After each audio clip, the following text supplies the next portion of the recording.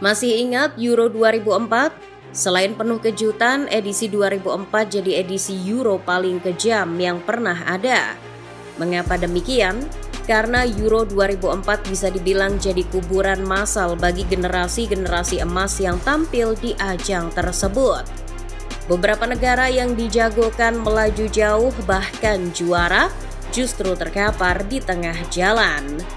Dari mulai Republik Ceko yang dipimpin oleh peraih Ballon d'Or 2003 Pavel Nedved. Lalu ada timnas Inggris asuhan Sven Goran Eriksson yang bermandikan talenta terbaik seperti Ashley Cole, Jamie Carragher, Joe Cole, John Terry, Frank Lampard hingga legenda Real Madrid Michael Owen. Nama-nama itu bahkan sedang menapaki puncak karirnya bersama klub masing-masing. Akan tetapi dibanding Ceko dan Inggris, ada negara yang paling terhantam oleh kenyataan pahit di akhir turnamen. Negara itu adalah Portugal. Euro edisi 2004 harusnya menjadi ajang bancaan Portugal di hadapan publik sendiri. Namun, layaknya lagu The Jensen, Portugal justru dipaksa mereguk anti-depresan lagi setelah dipermalukan oleh tim nasional antah berantah di partai final. Tim antah berantah, bagaimana hal seperti itu bisa terjadi? Simak kisahnya di mimpi generasi emas Portugal yang dihancurkan oleh timnas antah berantah berikut ini. Tahun 2004 jadi edisi ke-12 bagi kompetisi antar negara paling bergengsi di benua biru itu. Banyak negara yang berminat menjadi tuan rumah, setidaknya ada empat negara yang mengajukan diri. Namun karena Austria dan Hungaria memilih jadi satu, yang tersisa dalam bursa pencalonan tuan rumah tinggal tiga, yakni Austria-Hungaria, Spanyol, dan yang terakhir Portugal. Dalam sebuah voting yang diadakan oleh UEFA pada tahun 1999, akhirnya Portugal jadi negara yang terpilih untuk menjadi tuan rumah. Ini kali pertama Portugal menyelenggarakan event besar seperti Piala Eropa. Maka dari itu Portugal menyiapkan 10 stadion di 8 kota yang berbeda. Ditunjuk sebagai tuan rumah, pemerintah Portugal membuka turnamen dengan meriah. Acara pembukaan ditandai dengan presentasi kapal raksasa dengan membawa bendera masing-masing negara. Nantinya upacara pembukaan yang meriah ini justru dikait-kaitkan sebagai pertanda buruk bagi timnas Portugal. Berbeda dengan format Euro sekarang yang melibatkan 24 tim di putaran final, edisi 2004 masih menggunakan format lama. Pada saat itu hanya ada 16 negara di putaran final. Nah, menjadi tuan rumah dan bermain di kompetisi yang pesertanya lebih sedikit tentu saja membuat Portugal jadi pihak yang paling bahagia. Apalagi saat itu Portugal sedang dihuni oleh pemain-pemain terbaiknya. Tak berlebihan jika menyebut angkatan 2004 adalah salah satu angkatan terbaik yang dimiliki oleh Selecao das Winas. Karena setelah era Eusebio, Portugal baru punya deretan pemain kelas dunia yang bisa diandalkan lagi. Portugal punya skuad yang layak menyandang predikat Geresau de Oro atau yang berarti sang generasi emas. Sebetulnya generasi emas timnas Portugal di Euro 2004 sudah tersusun sejak akhir 80-an ketika Luis Figo dan Rui Costa sukses back-to-back -back menjuarai Piala Dunia U20 pada tahun 1989 dan 1991. Nah, di tahun 2004 mereka sedang berada di usia matang saat membela timnas Portugal di kompetisi Euro. Selain mereka, Portugal juga memiliki nama-nama seperti Costinha, Ricardo Carvalho, Paulo Ferreira, Maniche, dan legenda Barcelona Deco. Nama-nama tersebut adalah jebolan FC Porto yang beberapa hari sebelum kick-off Euro 2004 baru memenangkan trofi Liga Champions bersama Jose Mourinho. Tak cuma itu, dalam skuad Euro 2004 juga banyak pemain-pemain muda potensial. Sebut saja seperti João Moutinho, Helder Postiga, Ricardo Quaresma, Simao, Thiago Mendes, dan tentu saja Cristiano Ronaldo. Dengan susunan skuad yang teramat mewah, itu menguatkan status Portugal sebagai tim unggulan di Euro 2004. Yang makin bikin lawan ketar-ketir adalah siapa yang duduk di kursi kepelatihan. Kala itu Luis Felipe Scolari lah pelatih Portugal, sosok yang sebelumnya mengantarkan timnas Brazil menjuarai Piala Dunia 2002. Scolari lah yang mengembalikan identitas Jogo Bonito ke dalam tim Samba. Ia berhasil memadukan skill olah bola dari anak asuhannya dengan taktik yang dimilikinya. Dengan kesempurnaan yang dimiliki tim tuan rumah, tentu amat sangat sulit untuk menghentikan laju mereka kala itu. Portugal sudah dianggap sebagai juara di edisi ini, mengalahkan unggulan lain seperti Prancis yang datang sebagai juara bertahan bahkan sebelum peluit kick-off Euro dibunyikan. Sebagai tuan rumah, Portugal berada di grup A yang dihuni oleh Spanyol, Rusia, dan Yunani. Mendengar namanya, tercatat Spanyol lah yang diprediksi bakal jadi lawan terberat Portugal.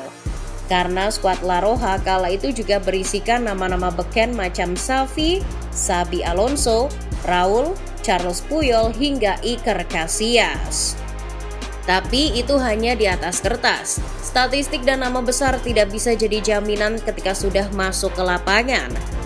Ketika lebih mewaspadai Spanyol, timnas Portugal justru kecolongan di laga pembuka melawan Yunani Tim yang bahkan tak dibahas saat sang pelatih membicarakan peta kekuatan grup A Euro 2004. Yunani mengejutkan Portugal dengan mencuri kemenangan 2-1.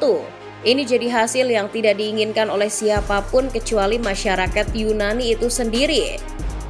Di hadapan 48.000 lebih penonton yang memadati Estadio do Dragao, Georgios Karagounis dan Angelos Basinas membawa Yunani unggul lebih dulu menit 7 dan 5-1. Portugal pun dibuat frustasi lantaran sulit menembus pertahanan Etniki.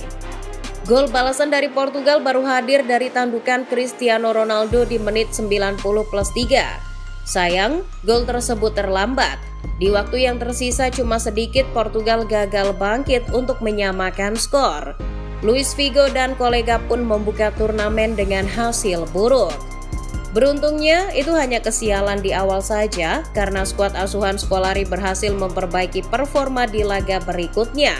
Dengan formasi 4-3-3 andalannya, Skolari membawa Portugal menang 2 gol tanpa balas melawan Rusia dan menang 1-0 kala menghadapi Spanyol. Meski kalah di awal, Selekaudas Quinas berhasil keluar sebagai juara grup dengan mengumpulkan 6 poin. Ditemani Yunani yang mengumpulkan 4 poin di urutan kedua, sebenarnya La Furia Roja juga mengumpulkan yang sama tapi mereka kalah soal produktivitas gol. Dengan lolosnya Portugal ke babak berikutnya, gelar juara hanya berjarak 3 laga. Namun sebelum berbicara soal itu, Portugal harus menghadapi generasi emas lainnya yakni timnas Inggris di babak perempat final. Laga yang mempertemukan dua tim besar ini jadi pertandingan yang cukup kontroversial kala itu. The Three Lions datang dengan ambisi memutus kutukan selalu gagal di Piala Eropa. Sedangkan Portugal harus menjaga nama baik di hadapan publik sendiri. Awalnya laga yang dimainkan di markas Benfica itu didominasi oleh Inggris. Melalui Michael Owen, pasukan Sven Goran Eriksson pun unggul di menit ketiga. Kostinya melakukan kesalahan mengantisipasi sebuah umpan jauh langsung dari kiper David James. Owen yang menyelinap pun langsung menghukum Portugal dengan gol cepat. Skuad racikan Skolari pun harus bersabar hingga menit 83 untuk menyamakan kedudukan. Helder pos 3 yang berdiri tanpa pengawalan menanduk bola hasil umpan Simao. Skor 1-1 pun sepertinya akan mengakhiri laga. Namun Inggris sempat mencetak gol di menit-menit akhir waktu normal. Sol Campbell memanfaatkan kemelut di depan gawang Ricardo dan memasukkan bola menggunakan kepalanya. Campbell pun berlari kegirangan seolah telah memenangkan laga, tapi ia justru tak mendengar bunyi peluit wasit. Urs Meyer, wasit yang bertugas kala itu menganulir gol Campbell.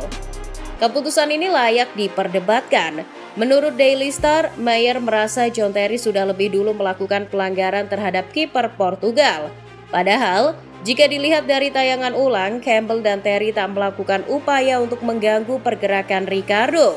Campbell berduel di udara secara bersih tanpa mengganggu penjaga gawang. Mayer pun dikecam setelah menganulir gol kemenangan tiga singa. Para pemain Inggris pun marah pada pengadil lapangan, namun Urus Meyer tetap teguh pada pendirian. Laga pun dilanjutkan ke babak extra time. Setelah tanpa gol di babak pertama perpanjangan waktu, di 5 menit awal babak kedua Rui Costa yang masuk sebagai pemain pengganti mencetak gol dan memberikan harapan pada publik Portugal. Sepakan kerasnya menghujam gawang David James menit 110. Sialnya, 5 menit kemudian legenda Chelsea Frank Lampard mencetak gol penyeimbang dan memaksa laga harus diakhiri melalui babak adu penalti. Dewi Fortuna seakan berpihak pada Portugal saat David Beckham yang maju sebagai penendang pertama Inggris justru gagal menunaikan tugasnya. Tetapi kebahagiaan itu cuma sesaat karena setelah itu Rui Costa mengalami kejadian yang sama sehingga skor adu penalti menjadi imbang 2-2. Setelah itu, enam Algojo berturut-turut sukses menunaikan tugasnya. Di saat skor kembali imbang, di sinilah ide gila Ricardo muncul. Merasa frustasi lantaran gagal menepis banyak tendangan, Ricardo pun melepas sarung tangannya ketika akan menghadapi tendangan dari Darius Fasal. Pemain Inggris itu pun sempat mempertanyakan tingkah Ricardo kepada wasit, namun Urs Meyer lagi-lagi mengambil keputusan aneh dengan mengizinkan aksi tersebut. Dan ya, ide konyol itu membuahkan hasil. Ricardo memblok sepakan Fasel dengan tangan kosong. Tak cukup sampai di situ, Ricardo yang rasa percaya dirinya sedang memuncak meneruskan aksi dengan mengambil penalti berikutnya. Kiper yang tak begitu tinggi itu akhirnya menyudahi perlawanan Inggris dengan sepakan kerasnya. Papan skor pun menunjukkan Portugal menang adu penalti dengan skor akhir 6-5.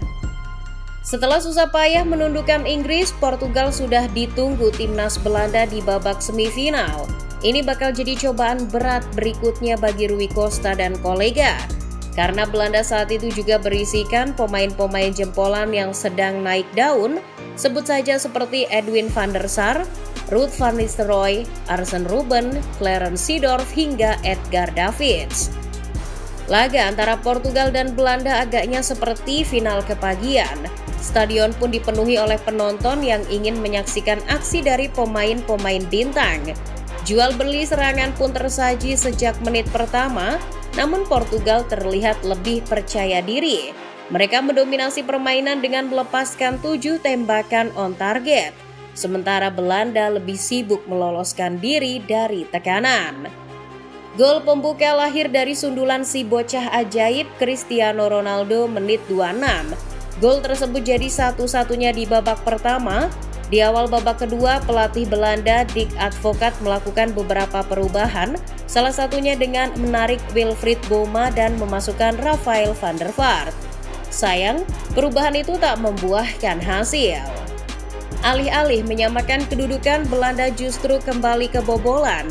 Kali ini melalui sepakan Maniche, buah asis Ronaldo menit 58. Belanda sempat membalas satu gol pada menit 62. Tapi itu pun bukan dari usaha mereka sendiri melainkan karena back Portugal Jorge Andrade melakukan kesalahan sehingga tercipta gol bunuh diri. Tak ada perlawanan hingga berakhirnya laga. Portugal pun melenggang ke final setelah mengalahkan The Orange dengan skor 2-1. Itu jadi malam di mana seluruh skuad Portugal mengira bahwa gelar telah menjadi milik mereka karena lawan yang akan mereka hadapi di final cuma Yunani. Setelah beristirahat selama empat hari, hari yang ditunggu-tunggu pun tiba. Laga final antara Portugal dan Yunani diselenggarakan di Estadio Dalus dipenuhi penonton. Ini jadi laga final pertama bagi kedua belah pihak. Jika Portugal memang sudah diprediksi bakal tampil di laga puncak karena berstatus sebagai tuan rumah, tidak demikian halnya dengan Yunani. Datang sebagai tim yang diremehkan karena selalu gagal meraih kemenangan di turnamen-turnamen besar sebelumnya, pasukan Otto Rehagel kali ini tampil dengan sepak bola kolektif dan disiplin yang kuat di lini pertahanan. Yunani mengandalkan serangan balik dan terbukti sejumlah tim pun mereka kalahkan. Menghadapi tim kuda hitam, jalanan kota Lisbon pun mulai sepi karena hampir seperempat setengah populasi memenuhi Estadio Dalus untuk melihat timnas Portugal merayakan gelar juara Euro 2004. Namun, Portugal yang sudah berpesta lebih dulu tampaknya lupa diri.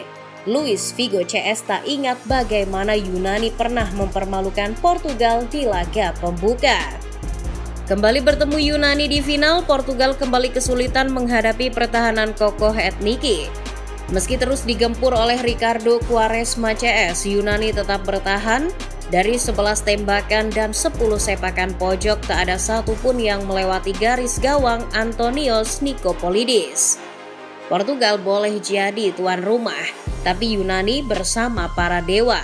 Yunani justru lebih dulu membuka keunggulan di awal babak kedua. Angelos Caristeas berhasil melompat lebih tinggi dari Ricardo untuk menyambut umpan sepak pojok dari Angelos Basinas. Publik Lisbon terdiam, tapi tidak dengan bench pemain Yunani. Mereka beranjak dari tempat duduk dan merayakan gol tersebut. Sialnya, gol itu jadi satu-satunya yang tercipta di laga final. Inggris, Belanda, dan Spanyol bisa dikalahkan oleh Portugal, tapi tidak dengan Yunani. Mereka jadi satu-satunya tim yang tak bisa dikalahkan oleh Portugal meski memiliki dua kali kesempatan. Masih ingat dengan upacara pembukaan yang menggunakan sebuah kapal di awal cerita?